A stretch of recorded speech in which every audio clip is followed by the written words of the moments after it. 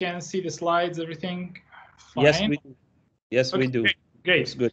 Thank you so much, Professor Becker, for inviting me to give this talk. Thanks, uh, Dr. Yasmin, for the organization.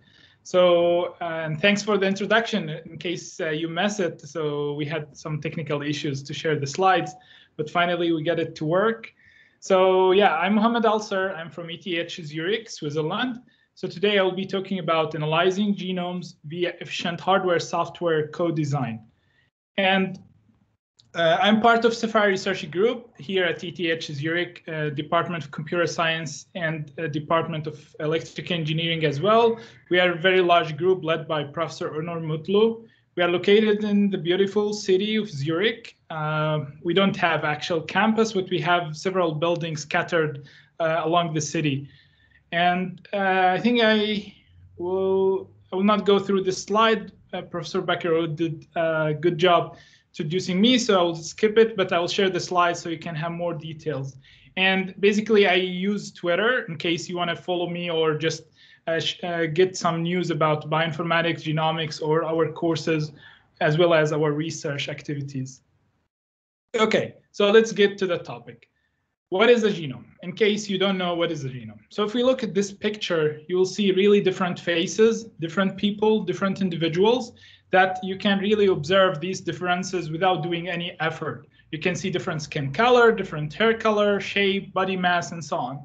So what cause all these differences? And that is what is our genome. It's really a genetic instructions that make us. So an organism complete set of genetic instructions. And this is how it looks like if we convert into computer science problem. So you, as you know, the DNA or RNA or our genetic material is really chemical molecules. For example, in the DNA, we have four chemical molecules. These are the key components of our DNA. Um, for example, the A represent adenine, then the G is guanine, then the C cytosine, and T is thymine. So if you convert each of these chemical molecules into a DNA alphabet, you'll get these four characters, A, C, G, T. And if you print them on a stack of paper, you'll get something like one-sixth the height of uh, Khalifa Tower. And this is a huge workload to be processed. And if you ever wonder about the other species, how large their genomic material, for viruses, normally it's very short, like few thousand. For bacteria is few million, and for human is like 3.2 billion characters, and we're still discovering more. We never get there yet, although we are studying the full genome since about 22 years or more. I think 10 years before that, we started to sequence the full reference genome. And then 10 years or 13 years later, we got the fir first reference genome. And then 20 years after that, we start to get it near complete, but we never get it the complete sequence. And even with that, we still, we don't have reference genome that represent a population. If we talk about fruits, vegetables is way longer than what we have. It could reach up to 50x longer than human genome. All right, so how to analyze the genome? First, we want to get the genomic material and convert it into this computer science text so you can analyze it and perform some algorithm modification or hardware processing. Unfortunately, we don't have any machine that you give it a genetic material and will give you the complete sequence of your DNA. So what we have is that you need to go to the pharmacy or the lab, hospital, or supermarket even to buy one of these kits where you do the swap yourself and then you ship it back to the company. The company will have one of these machines, what we call sequencing machine. It could really vary in size, can be handheld size or can be fridge size. Sequencing machine, they differ in throughput, price, and so on, as well as the accuracy of the machine. So each of these machines introduce its own error while we are reading our genome. However, all have something in common which that regardless the sequencing machine, the, the output of this machine still lack information about their order and location. We really don't know which piece coming before what, what other piece. So we got segments of our DNA. It could be really short, could be real long, but still we don't get uh, the, the full genome. Uh, I got the notification that there are people waiting. Uh, maybe someone can accept them in the meeting. Yeah. Yeah, Yasmin will uh, take care of that. She will accept them. Thank you. You can focus on the Right. presentation. So the output of the sequencing machine really vary in size, as I mentioned. We can call them short reads. The output, this each segment of this sequencing machine, we call it a read. The output can be short if it is 100 to, let's say, 500 long pieces. That is short reads.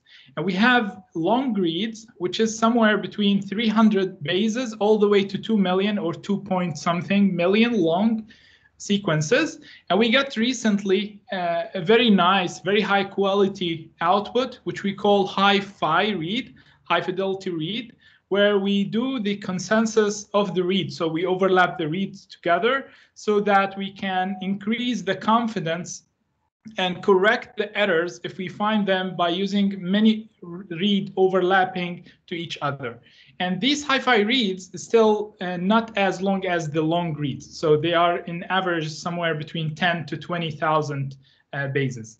However, their accuracy is really high, but they are still expensive. So the cheapest uh, price per read is the short reads until now. That's why it's uh, commonly used, widely used everywhere, but also uh, they have their own shortcomings, such as they are very short. So if we have a disease with very long gaps, like deletion or insertions in the genome, it will be very hard to discover these uh, causes of disease if we use short reads.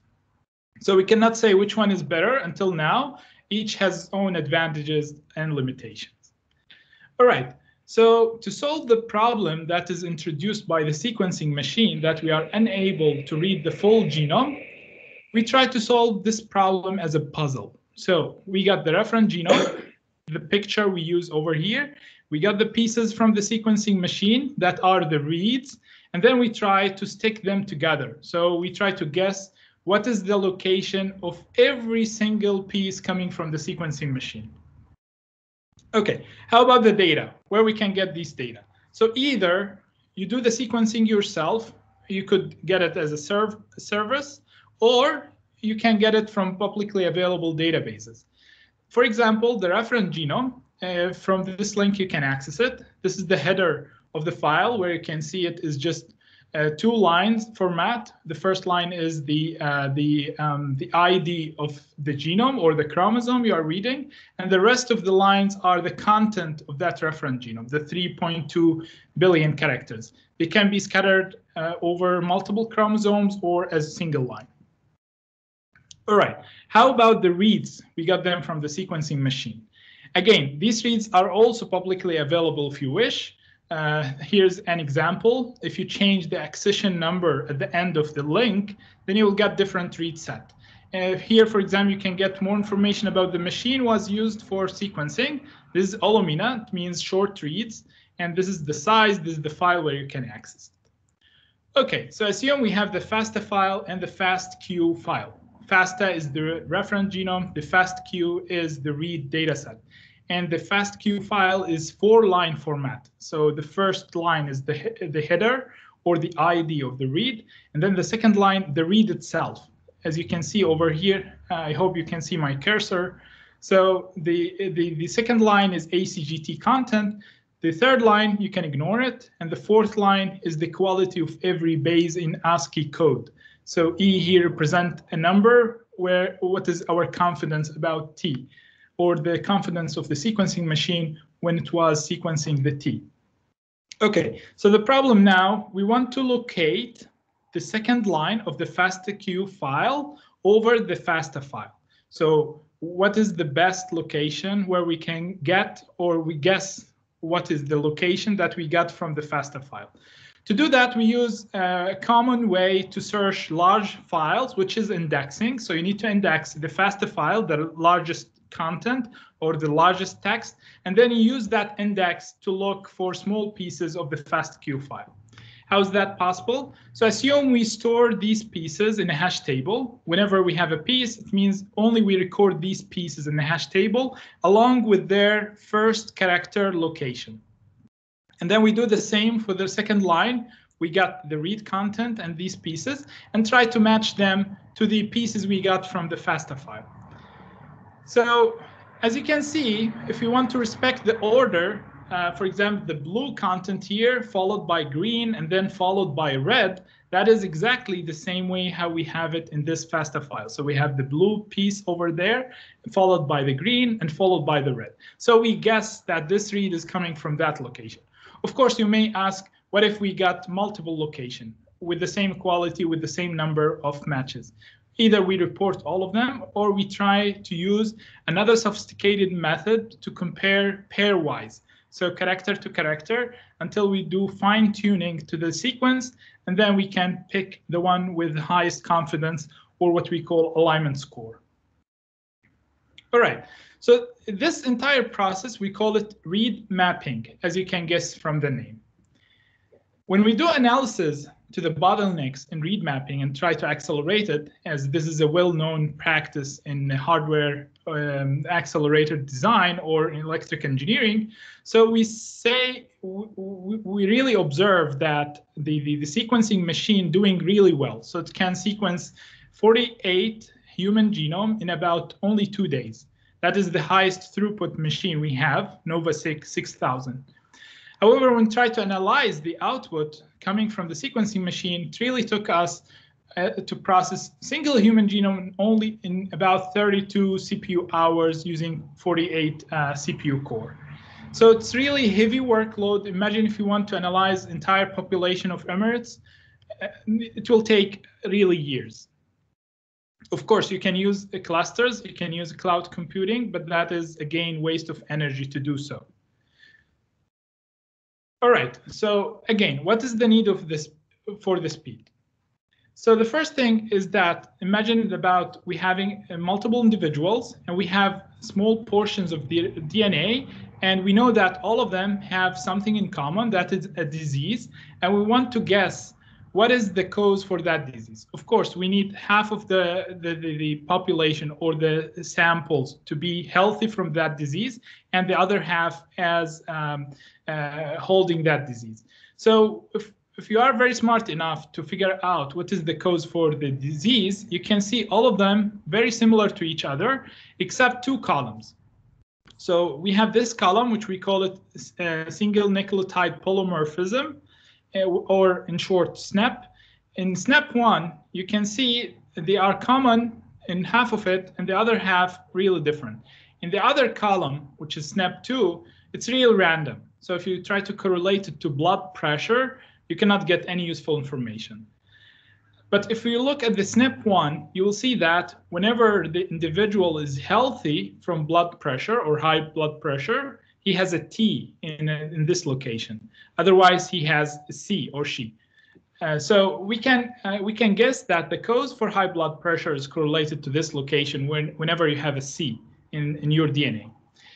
If you think about that only disease can cause by single alteration in the DNA, that is wrong because in these disease such as autism and obesity, uh, you have huge deletions or insertion in your DNA, which is 500,000 bases deleted from your DNA or inserted as addition to your chromosomes. And that is a huge, again, problem to be discovered, especially if you are using short reads, for example. This is another example where you can access this open source database, opensnp.org, uh, where you can go to specific locations in the genome. For example, here tell you at chromosome 19, at this specific position in that chromosome, if you get a T from the mother and T from the father, then you have about 20 to 25% that if you got hepatitis C, then you're it's really very low probability to respond to treatment. So 20, 20 to 25% um, that you may get better to medication. However, if you get the C from mother, C from father in that specific location in chromosome 19, then the probability will be much higher, 80% that you'll get uh, responded to the treatment. And that's what we call personalized medicine. So I need to read your DNA first, get the content of the DNA, do some analysis to correlate it to certain disease, look in these open access databases and try to figure out what is the probability of getting better and what medica medication you should get so that you can get better. it's not about only knowledge inference, but rather about getting better much quicker so that you'll be in safe hands. So if you think about critically ill elephants, they have few days to uh, get better. Otherwise, they may pass away right away, right after that.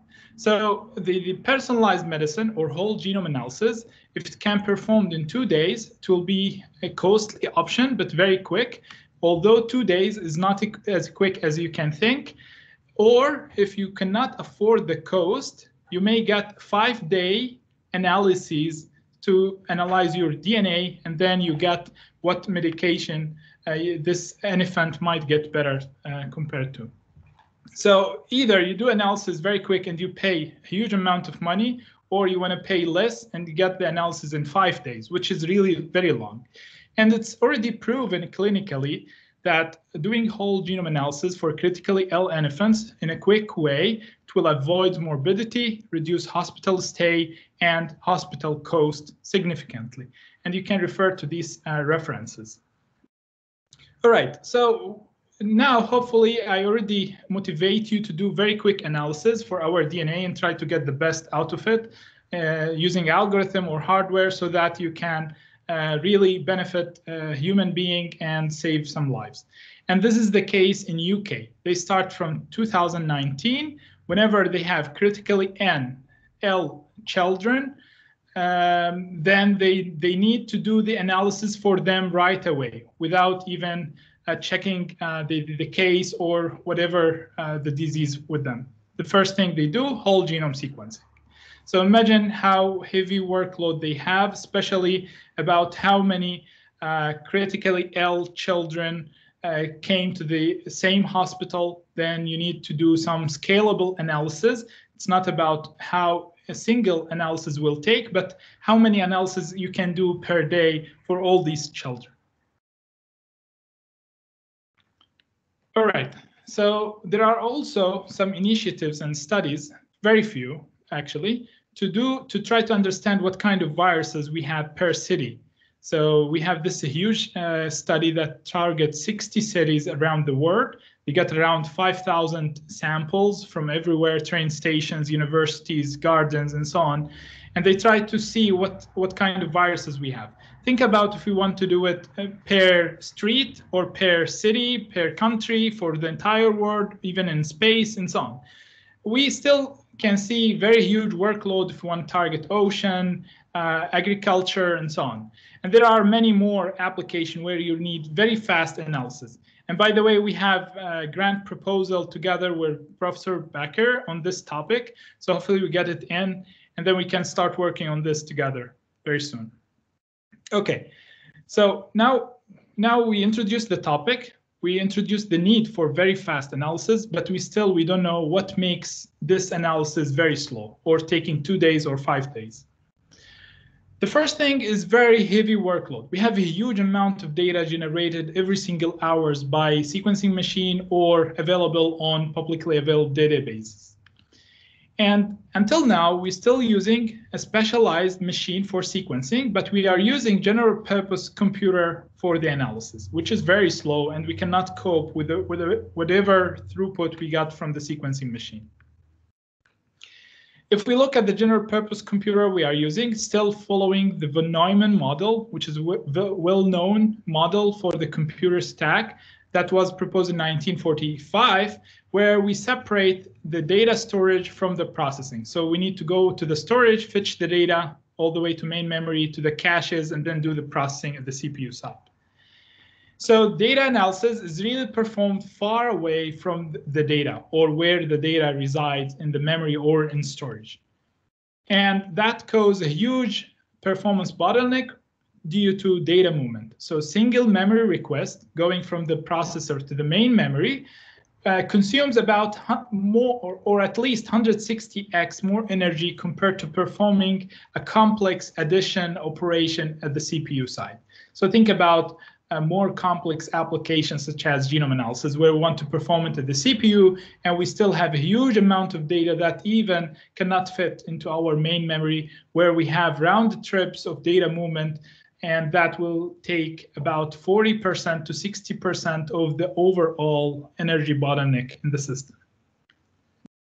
If we do deeper analysis to one of the algorithm used for read mapping, then we, this is the breakdown for the time analysis. And you will see about more than 60% of the time is just spent on dynamic programming algorithm, which is used to do fine tuning alignment or pairwise alignment between two sequences, between two genomic sequences. So we check every character, whether it can be deletion, insertion, or substitution. And that is very expensive, even with the state of the art algorithm that is widely used until now. Why is that? Here's a paper for you. Uh, this is um, um, this is a mathematical uh, proof of that we cannot do better than dynamic programming algorithm or quadratic time uh, algorithm to compute or to solve the same problem, which is pairwise alignment. So you cannot do um, uh, in terms of time complexity better than quadratic time algorithm. If we look also about, if you remember when I show you the FASTQ file and the FASTA file where we compare them together. So 98% of the time, the, the way we compare the FASTQ file to the FASTA file, they really differ because we use very short pieces from the read to uh, match with the reference genome. So most of the time we don't get a good hit. Most of the locations that we figure out using the index, they have high, dis high uh, dissimilarity uh, with the, the read sequence. So if you want to use the dynamic programming table to check the alignment in a fine tuning manner, uh, you will suffer a lot because you will use it most of the time and then you will waste the computation because you will not use it. It's not useful for you. So only 2% of the time, whenever you use the dynamic programming table, you will get a useful output. So one of the efficient way to look at the problem or try to tackle that problem is to look at the compute stack. So we have at the bottom the hardware where we have the logic, transistor, devices, and so on. And at the bottom we have the data itself, and then the algorithm, and then the implementation, then the operating system. And if you try to tackle it from one way, you will lose the game always. So if you try to improve the data using data compression and so on, the, prob the algorithm is still very expensive. In the same way, if you look at the algorithm, the hardware to be implemented is still very expensive because general purpose computing and not dedicated to do genome analysis. So the, the best way to look at the problem is to tackle it from the top and from the bottom, to change the hardware itself and to change the algorithm to make it hardware friendly. And if you look at the software only, so we have this is a well-known problem, matrix multiplication. And if you try to optimize it using software, you will see that if you move from Python to C and then to SIMD or AVX acceleration, you will gain about 60,000 x speed up. This is the reference where you can get this data and the code, run it yourself and try out. Also, if you look at just reading the genomic data, the FASTQ file, just read the FASTQ file. If you read it in C, you will see at least 4x speed up compared if you read it using Python.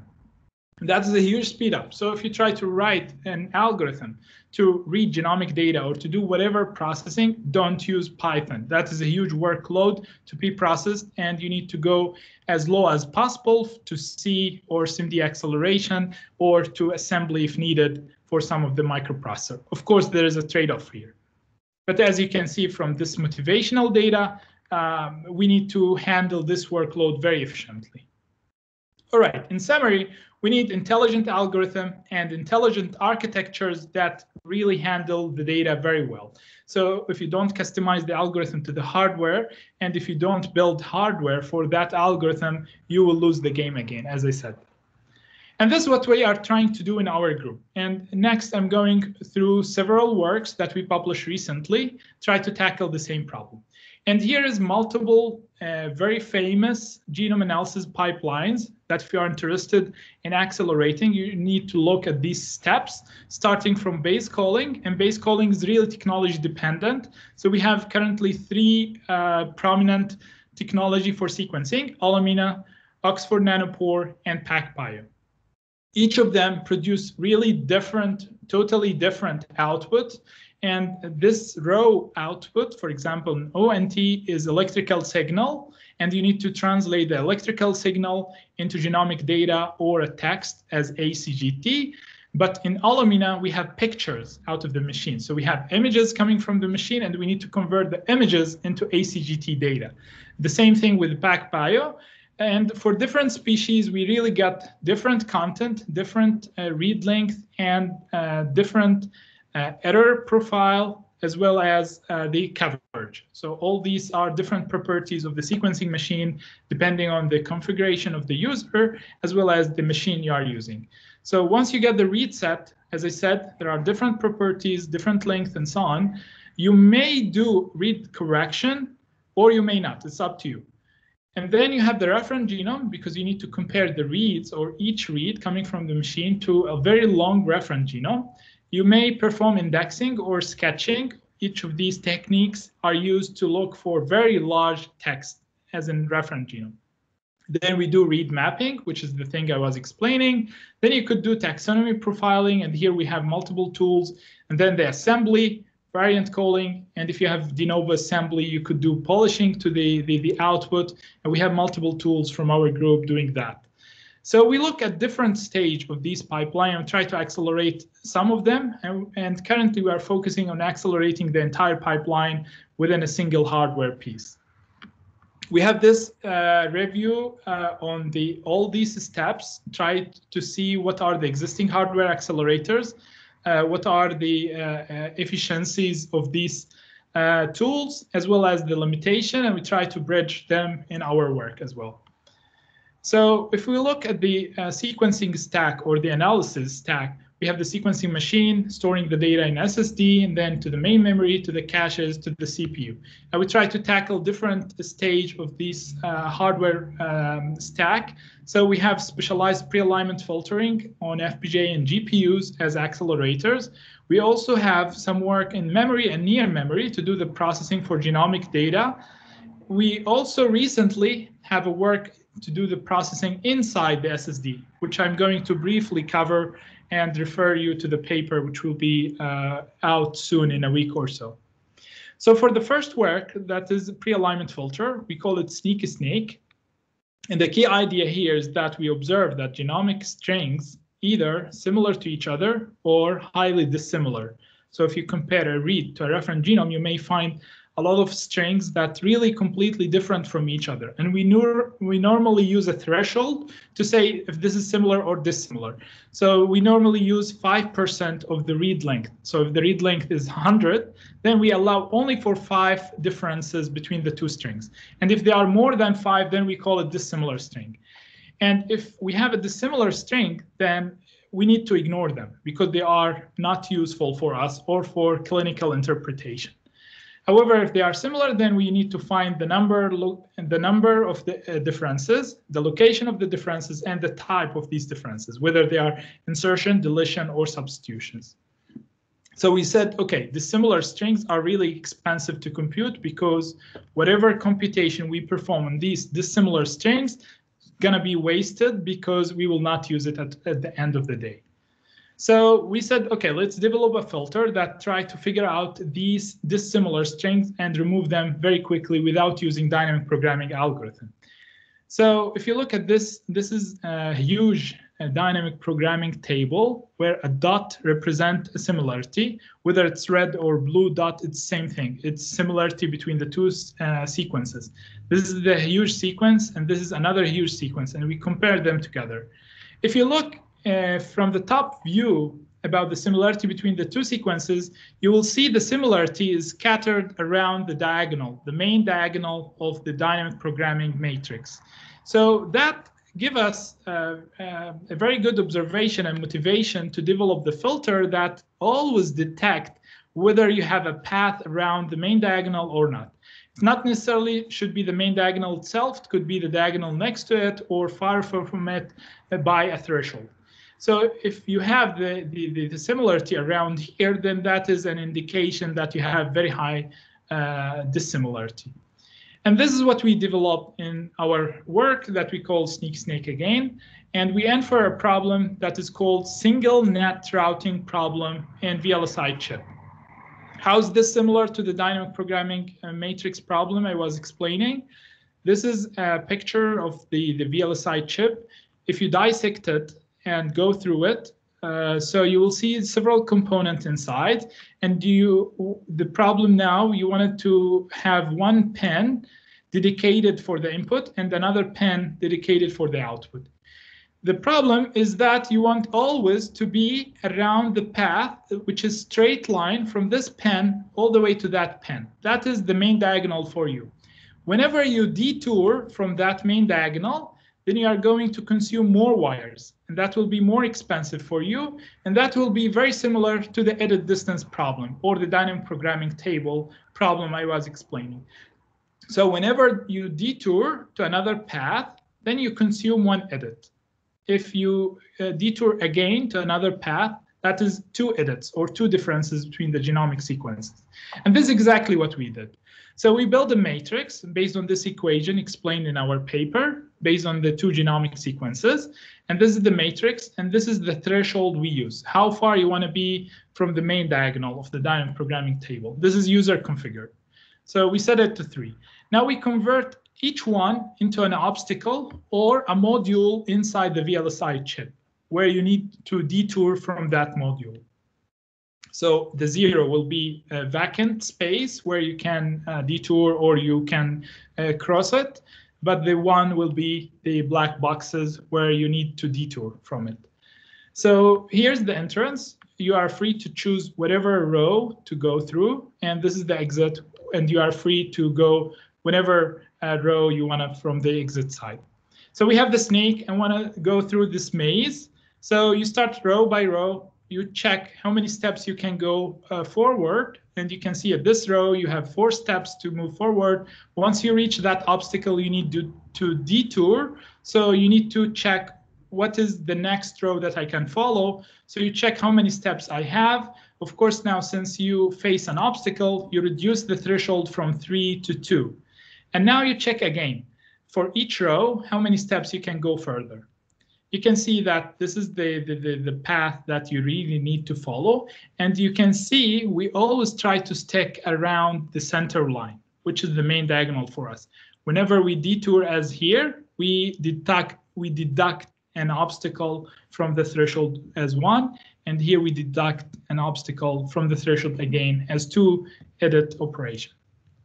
So we have here uh, the row. Again, we repeat the steps until we reach the exit. If we don't reach while having the threshold uh, above zero or equal to zero, then that means the two genomic sequences we use to build the matrix are really dissimilar from each other.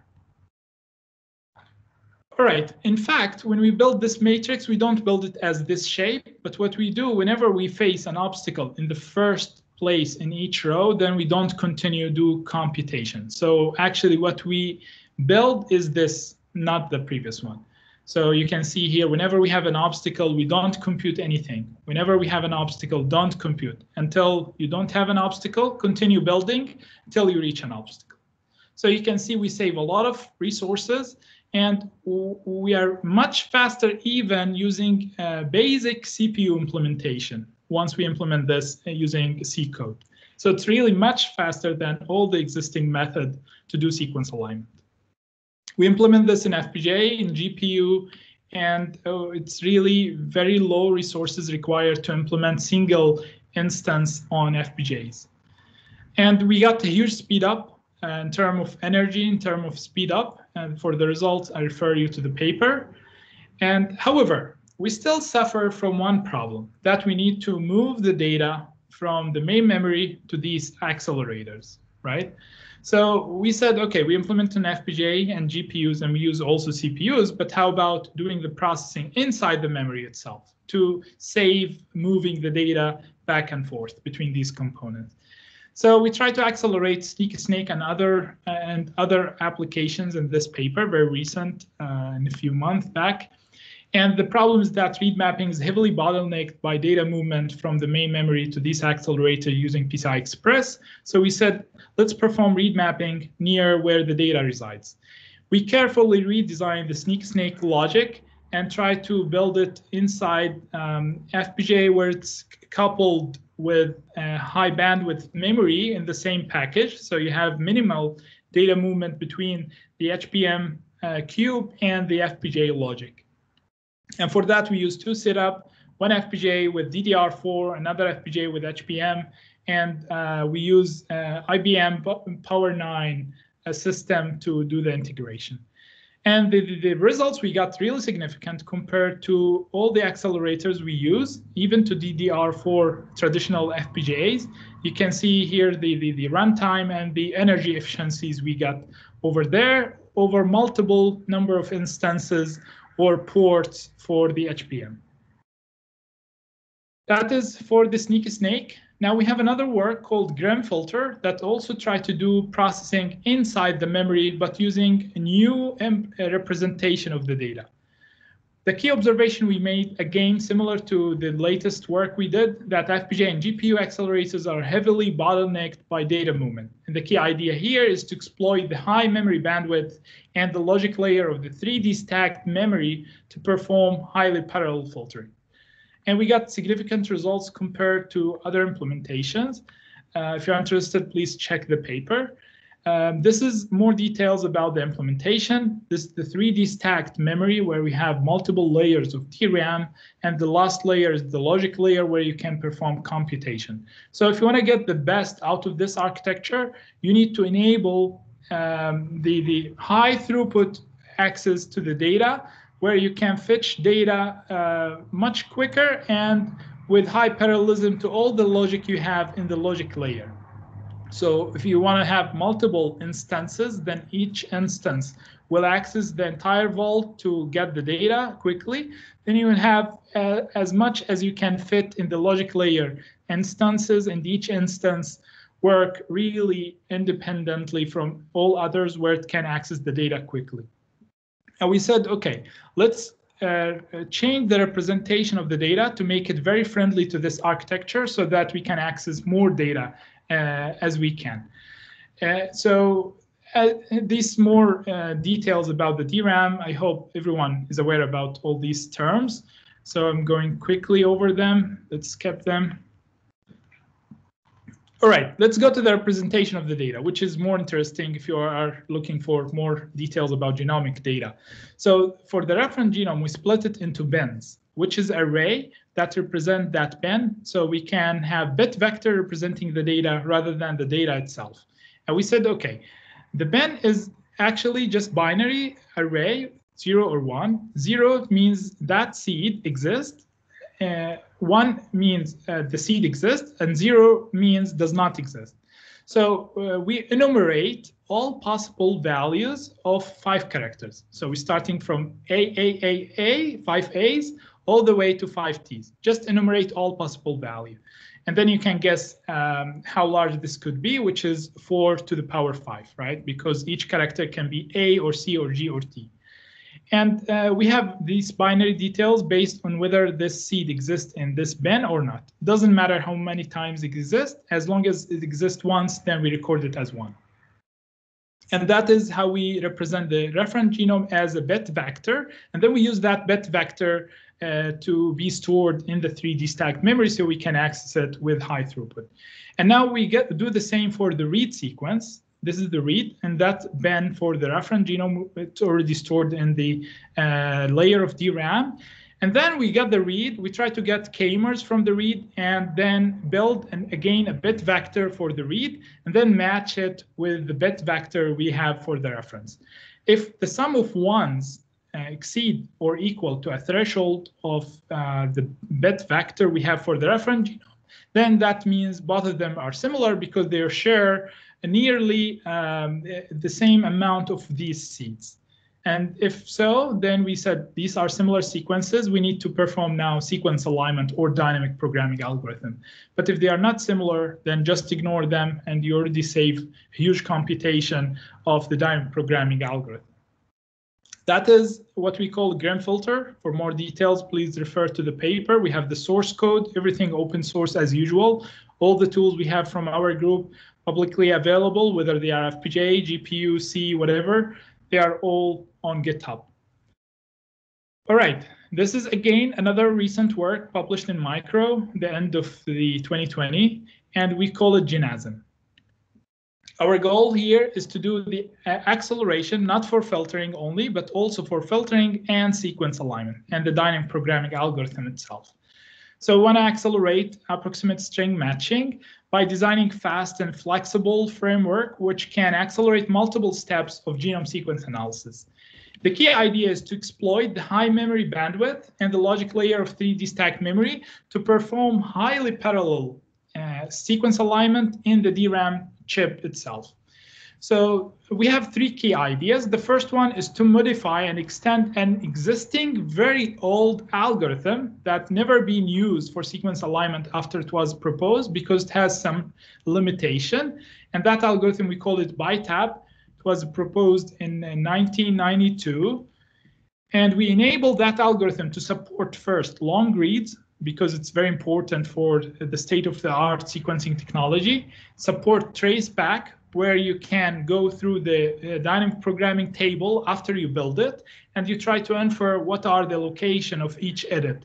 You want to know where's the location of the edit and what type of location uh, of edit you have, whether it's insertion or, or deletion or substitution. And we make it highly parallelizable by uh, hardware accelerating it and uh, um, do, having multiple instances uh, to do the acceleration. And then we co-design it with the hardware along with these algorithmic optimizations. And we have multiple use cases in the paper, starting with read alignment or sequence alignment, and then pre-alignment filtering, similar to SneakySnake and GRIMFilter and then edit distance calculation. The difference between edit distance calculation and read alignment is that you are not interested in knowing the location or the type of the edit, but rather just knowing the edit distance, which is the minimum number of edit operation that you can afford between the two sequences to make them similar. That is a bit cheaper than the sequence alignment because you don't do uh, traceback. And the again, the, the results we got really significant, even compared to hardware acceleration or chip uh, dedicated to do the sequence alignment, such as Darwin and GenAx. And uh, for more results, again, I'm going to refer you to the original paper to read it in details. All right, so after we develop a large amount of work on GPU, FPGA accelerators, or even in-memory, near-memory acceleration, we observe that we always still suffer from data movement coming from the storage, not from the main memory. So we try to solve the issue coming from the main memory or near memory acceleration, but we said, how about the storage? We still have a huge amount of data, especially if the FASTQ file is really huge, as the case in most of the uh, genome pipelines. So we said, okay, let's develop something uh, inside the storage itself, inside the SSD. And we have this, which will be presented in a week from now or 10 days, actually, in ASPLOS in Lausanne, Switzerland. And we call this work GenStore, High Performance in Storage Processing System for Gen Genome Sequence Analysis. And uh, what we do here, as I mentioned, we try to do the processing inside the storage. And again, as in all our works, we don't develop hardware accelerators only, but we try to tweak the algorithm first, propose totally new algorithm that will change the story and make it very friendly to the hardware. And then we build hardware accelerator for the algorithm that we develop. We observe, we make two key observations in this work. First, we see that whenever you use short reads, then there are large portion of these short reads exactly matched to the reference genome without any changes. So there are no differences, no edit operation. So they are exactly matched as they are to the reference genome. So we said, let's have very cheap hardware detect these reads. And then if they are exactly matched, then done you don't need to compute anything in the CPU side or inside the memory because there's zero edit. So you can just have the output as zero edit for that read and done. And that is for short reads. Uh, by the way, the exact match observation is not ours. There are existing multiple work starting from 2015 all the way uh, with different ratio, depends on the technology and the read type and so on. But this is the first hardware accelerator to tackle this problem inside the SSD. There are some work like GenCache, for example, try to do the processing near the cache. However, we also made a very new observation about long reads. So we saw we observed that for long reads, they share large amount of pieces with the referent genome if they are similar to these location the referent genome. So they have what we call seeds or subsequences shared between the two sequences. And these seeds, uh, they will be very large in quantity if this read is similar to the referent genome. And we develop another hardware accelerator for these long reads so that we have a complete system, whatever the read type is, short or long, hi-fi, and so on, uh, where you can process these inside the SSD. And one of them operate on the good reads, which is exactly match. The other one operate on the bad reads, these non-matching, that they don't share large amount of seeds between the read and the referent genome. And the, the, the, results we got from this acceleration is really huge, uh, especially that we save a huge amount of data movement by filtering 70% of the short reads, for example, from being processed in the CPU. So we store them back in the storage as they are good reads. And then up to you, the user, if you want to load them to the main memory, you do some further op operation on them. And by the way, each sequencing machine has inside it either FPGA or GPU and also an SSD. So you can do the processing inside the machine itself without any need to move the data outside this component. So you have processing inside the edge device itself. Again, the work will be available on GitHub, on YouTube, on uh, all our channels uh, very soon in a week or so if you're interested in the paper, but I'll be happy to share the draft uh, if you're interested so. Okay, so I present a few of the works that we developed in our group. How about the adoption of these hardware accelerators in real uh, genome analysis setup, for example, clinical setup or hospitals or even startups, companies, and so on. Uh, I don't know what happened. I hope you can still see my slides. Yeah, we still see your slide. Okay, great. Yeah. All right. So yeah, back to 2016 when we published the first hardware accelerator for filtering algorithm that is Gatekeeper, which I didn't present today, but there was one interesting comment we got from the reviewer that time. We published in Bioinformatics Journal and we got six reviewers. And the reviewer was honest and clear to the point. He said, there has been little to no adoption of previous specialized hardware solution related to improving the speed of alignment. So he was commenting on the adoption of the work, and he said, I have a major concern with the work that is actually not a problem with the manuscript. Our response was uh, as clear as he was, and we said it always takes time to adopt a new or different hardware technology. So we're developing for FPGA and nobody was using actual FPGA for genome analysis in that time. And it was odd uh, for the community. So we said, okay, uh, and we have very long response for him uh, with a few examples and so on. And we were at that time a dreamer, but however, you need to dream and everything will come uh, later on. So computing landscape, if you look at it, 10 or 20 years ago, it's really very different from what we have these days. And this is true for genome analysis. So two years later, after we developed the hardware accelerator, the genome sequencing companies start to have or to adopt FPGA accelerators inside their machine to do some analysis. And this is true for DRAGEN, for example, which is implemented in FPGA. And also we have NVIDIA processor or uh, Parabricks so which is, which is a GPU-based accelerator, uh, which was developed as a startup in 2018, and then NVIDIA acquired that startup to do the processing.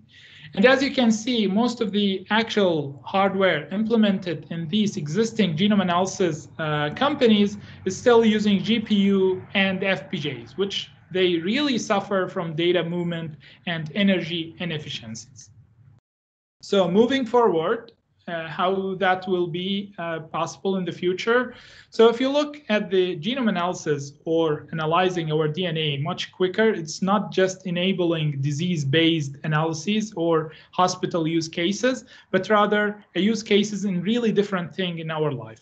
For example, this is a work from ETH Zurich where they try to do DNA storage, where you store information in a DNA or artificial DNA component that can be melted down as a bunny, for example, or sunglasses. This sunglasses inside the glass, it's embedded DNA component or the molecule of the DNA, which encode data. For example, you can represent A as two bits, C again two bits of data, and you change these two bits based on the data you have. Zero zero, for example, is A, zero one is uh, C, one zero is G, and so on.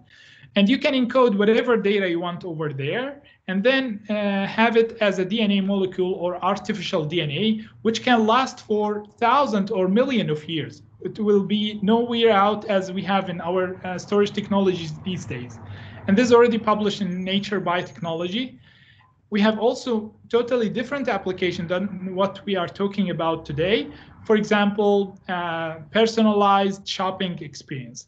Uh, so you have your DNA analyzed, and based on your DNA, they can tell you whether this food product is suitable for your DNA or not might, might cause you allergy or something like that. So based on your DNA, you can do the shopping yourself. And for that, you also need to do hardware acceleration so you can get the decision really quick uh, uh, than what you need. There are also some applications to understand the gut microbiome, what kind of viruses or bacteria living inside your body so that you can do further uh, diet or uh, health improvement. And this is a startup called Unseen Bio, where you also need a hardware acceleration for that, so you can do the analysis quicker um, and uh, and so on. So the countries start themselves as initiatives to do genome analysis for the population. So uh, uh each of these countries start to build genetic map to know what kind of disease the citizens have and what kind of personalized medicine that we can enable inside the hospital. Saudi Arabia has this very long program since I think 10 years or so. Qatar as well. Emirates started starting uh, I think uh, late last year I think around mid uh, 2021. It's never too late. it's starting better than not starting they have an ambitious program to sequence a million a citizen and get their genetic map and then do analysis on that. So you can think about the huge workload to do this analysis for million individual or even targeting the entire population. So at the end, what if we have a machine that give you the full sequence of DNA? So we are we're talking in the beginning of the talk that there is no existing machine that can give you the full sequence of DNA. But what do we we have one? will all these hardware accelerators that we develop will be trashed away? Think about other applications such as whole genome alignment, metagenomics, and pangenomics, where we, in all these applications, we compare a full genome to a full genome. So we do genome to genome comparison, and we try to get the differences between them. That is not related to the sequencing machine. It will be really independent from whatever technology we have. And then whatever hardware accelerator you develop to compare genome to genome will never be outdated. And we still have open question how and where to enable fast, accurate, cheap, also privacy preserving because this data can tell much more than what you think about yourself and relatives. And we also want this analysis to be scalable, exabyte scale analyses of genomic data we have different components for the analysis or for the entire pipeline, and we need to figure out where to place the processing, whether inside the sequencing machine, near the storage, uh, near memory, and so on. There is no one solution fit all cases. So it depends on really in the data, how much filtering you can do, whether you want to do the filtering inside the storage and the processing at the CPU and so on. So there is no one solution that can solve this problem. As a key conclusion of this talk, most speed up comes from parallelism enabled by both novel architectures and algorithms as well. And uh, we have multiple papers if you are new to this topic, hopefully that can introduce you well to the topic. Uh, and we have this recent paper uh, covering all aspects of read alignment in different applications. We got very good positive feedback from the committee, uh, from the community of the genomics about this. So if you're interested, please check the paper. We have multiple videos on our YouTube channel and lectures from me, Professor Onur Mutlu, and other members of the group. We have also multiple courses that I'm teaching every semester on the on the these topics and the use of hardware accelerators. So all are publicly available in terms of materials, videos, and so on. Uh, that is all for the talk. I'm happy to take questions if you have any. Great, thank you very much. Enjoy the talk. So I know uh, Dr. Andreas need to leave. He has a question. Can you read the question? What's it? It's in the. Oh, I can see it. Yes. So Dr. Andreas asking, I'm curious how uh, Burrows-Wheeler in uh, transform state of the art in reads mapping algorithms can benefit your algorithms. That's a very good question, actually. So there are state-of-the-art tool called uh, BWA MEM2 that use Burrows-Wheeler transformation as indexing method. And actually, whatever coming after the indexing, like uh, chaining, filtering, sequence alignment, all of them are independent of the index you use. So you can still use hash table, for example, and then follow up with the sequence aligner, dynamic programming table algorithm, and so on. So all of these can still reuse whatever we have developed in our group. For example, the sequence aligner, GenASM, or uh, all the other method we develop, you can replace the sequence aligner inside BWA MEM2 to do this. And we already did this in some of our works, and we proved that we got some speed up if you do the integration between them. We also integrated with Minimap2, which is using totally different indexing method that is hash table, not Burrows-Wheeler transformation. And we also proved some speed up compared to that. And the speed up was really significant in case of GenASM and GenStore, as well as SneakySnake in terms of filtering. So you have seed chaining, you have filtering, and you have a sequence aligner that you can integrate with these existing method, regardless the indexing you use. That was a very good question. Okay, great. Anyone else has a question? You can speak or you can type your question. I know we're almost uh, on the hour, but it was enjoyable hour. Thank you so much. Yeah, I was thinking it's one hour and a half, right? So we have uh, about a few minutes for the question. Anyone else? Do you have guys have any question? I have a general question in like in the slides, very interesting. You showed like blood pressure, for example. Mm -hmm. uh, so uh, who would mark this data? I mean, you at the end you need somebody who uh, will get you like marked data that we uh, later on you can uh, utilize, right? Mm -hmm. Yeah, that's a good question actually. So we have a study called GWAS study, a genome-wide association studies. In these studies, you have two samples, two large groups of samples. So you have healthy sample, like 1,000, 10,000 individual, and then another uh, 10,000 people where they don't have the disease. And then if you want to mark the data, so you compare these individual together, and then you have these very specific location where they differ. They do, you do Manhattan plots, and then you get the significant differences between the individuals. And then you have very high confidence to know whether this these individual have this disease or not.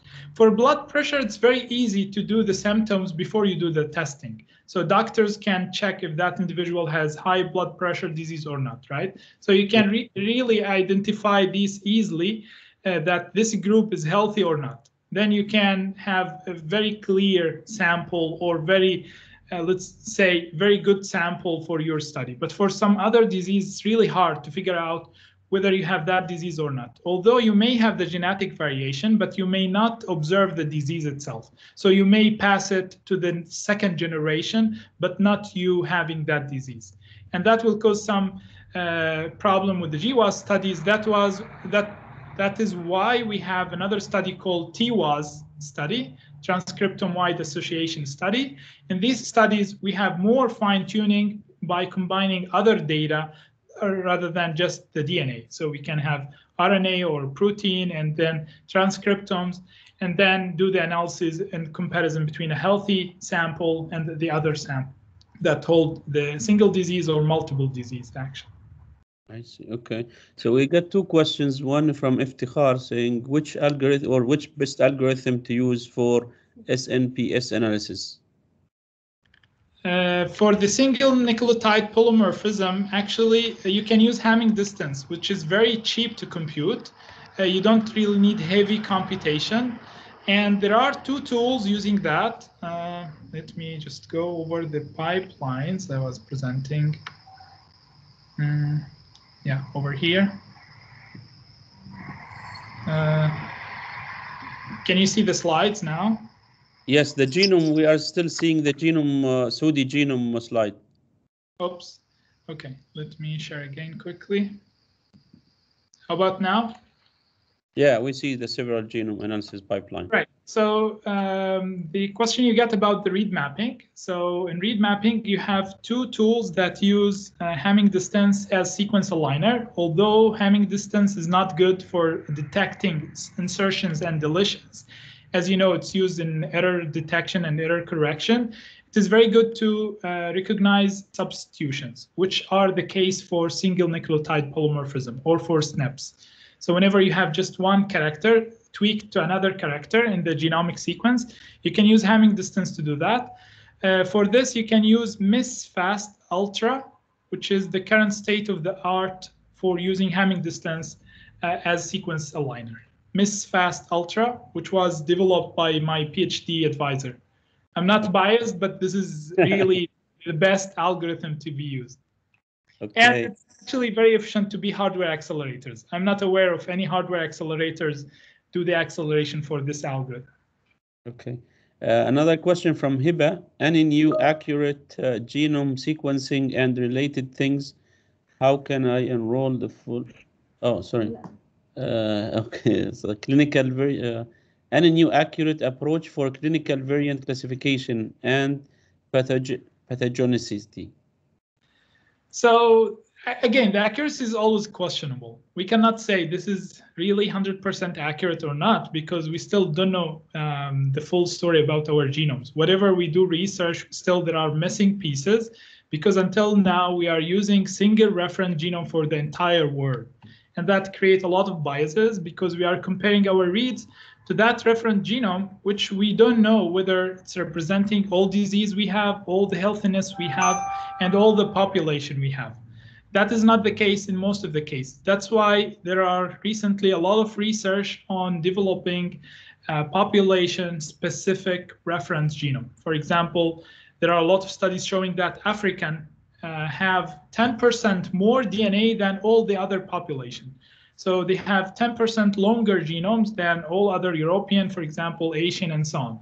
So it will be not as good as if you compare with a single reference genome. So the accuracy is questionable. I cannot say which one is most accurate, but we always have a ground truth. So we know the disease, we know the correlation to this disease, and then we compare to this grounded truth, and we say whether we can detect this variation or not.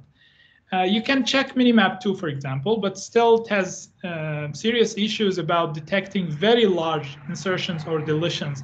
That's why we have um, new work try to integrate NGMLR with Minimap2 and see what are the specific cases where we can detect larger variation or even small variation. But again, Minimap2 doesn't work well for short reads. So we have BWA-MEM2 uh, for short reads. So really, for each case, tell me what is the data, uh, what is the accuracy you want, the, the range of read length, the edit distance threshold, and then you have really very specific tool tweak for that problem. There is no single tool best for all the analysis.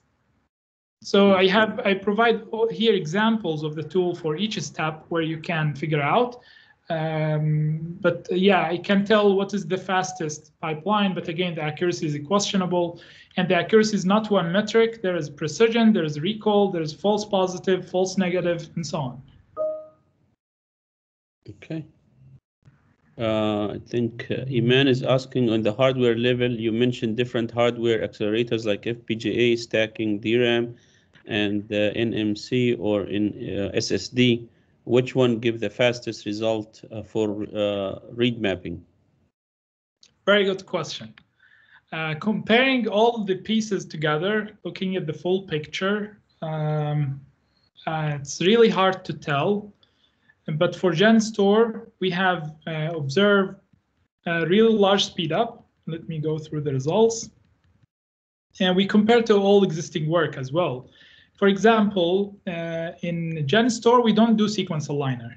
We don't do filtering uh, per se as chaining.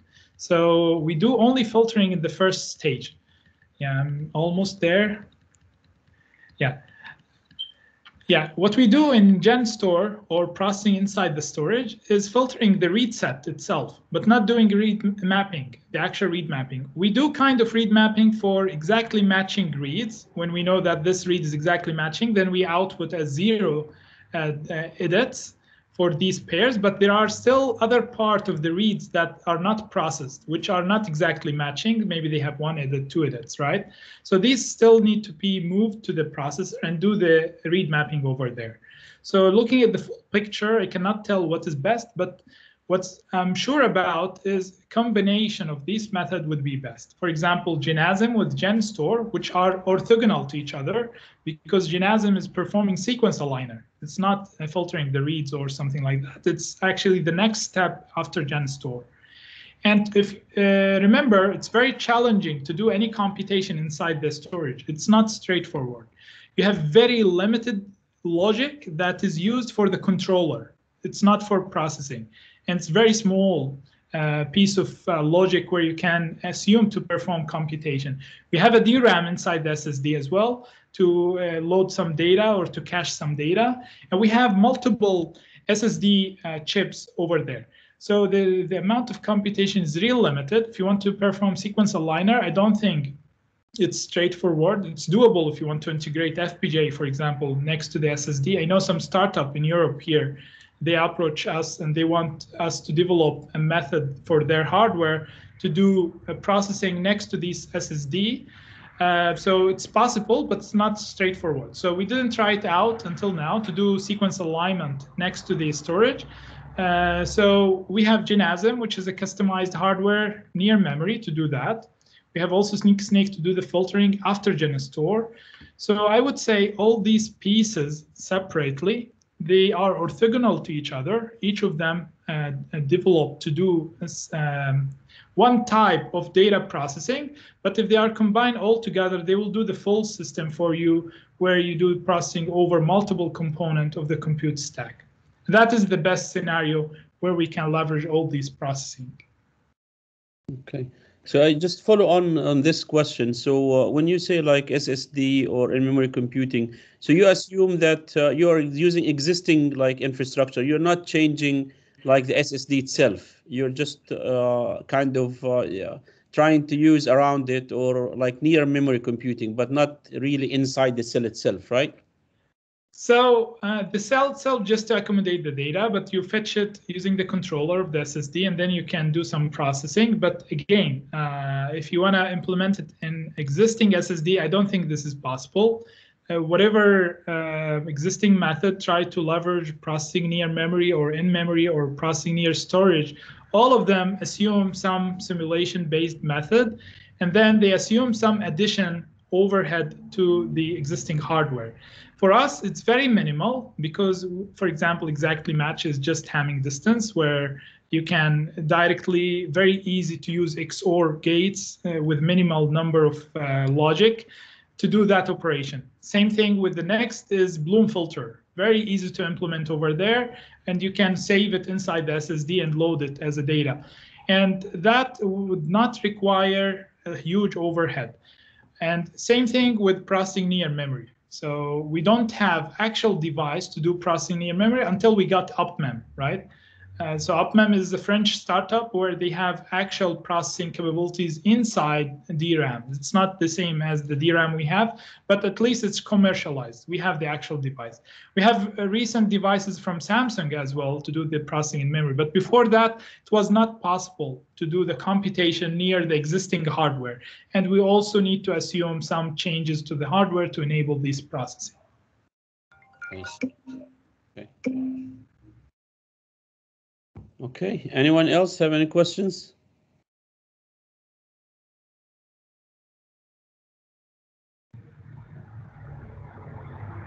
All right, so uh, I think if no questions, we can, uh, you know, stop here and definitely uh, have many questions, but we can take it offline and definitely looking forward to working with you and the team and, uh, you know, exciting, uh, uh, you know, project, exciting things to come, inshallah. Yeah, definitely. We're very motivated to push our collaboration together. And uh, sorry you couldn't join in person, but uh, hopefully next time we can make it. Inshallah, it will be our uh, honor yeah, to invite to host you here and to see you in person, inshallah. My great pleasure. Thank you so much, Professor Bakr. All right, thank you very much. Thank you all for coming, and uh, hopefully you enjoyed the talk as much as I did. And uh, we'll uh, follow up with uh, Dr. Mohammed, inshallah. Inshallah. All right, thank you very much. Stop uh, recording.